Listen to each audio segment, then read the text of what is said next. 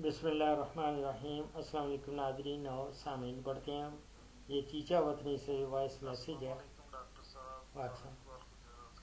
जहद पाल गुजर। चड्डे। हम्म, हम्म।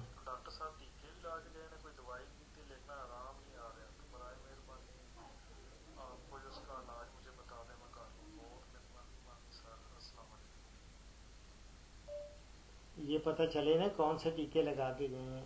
जो भी है उनसे कहें कि जी ये पूरा मुकम्मल इसको इंजेक्शंस लगाएँ और अगर आप दोबारा से मुझसे पूछ के टीके लगवाना चाहते हैं तो मेरी जान कोई भी आप आ, आ, इसको कोई एंटीबायोटिक एम्पी क्लॉक्स ज़रा सेफ़ है।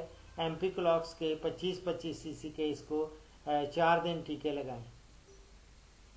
और साथ इसको ये जो ज़ख्म है, ज़ख्म के ऊपर एक टेराजन प्लस स्प्रे मिलता है, वो उसके ऊपर स्प्रे करें दिन में सिर्फ़ दो दफ़ा।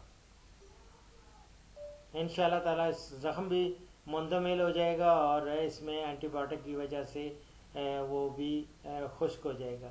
अगर आप एंटीबायोटिक्स नहीं लगवाना चाहते तो एक ही बला, एक ही, एक इसको जो जेर जल्द आईवोटेक का या आईवरमेक्टिन का एक दस सीसी का इंजेक्शन वो लगा दें तो बस वो इससे ही वो खुश्क हो जाएगा, जख्म भी खुश्क हो जाएगा, और टेराजेंस प्लस से आप स्प्रे करते जाएँ दो दिन, तीन दिन करेंगे तो ठीक हो जाएगा इन ताला, अल्लाह के फजल करम से।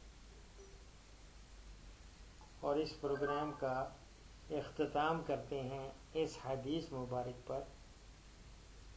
अल्लाह अकबर कबीरा हज़रत अबू हरेरा रज़ी हो बयान करते हैं कि रसूल वसल्लम ने फरमाया कि तुम में से हर शख्स अपने भाई का आईना है तिरमजी से कोट कर रहा हूँ दुआओं में याद रखें फीमान ला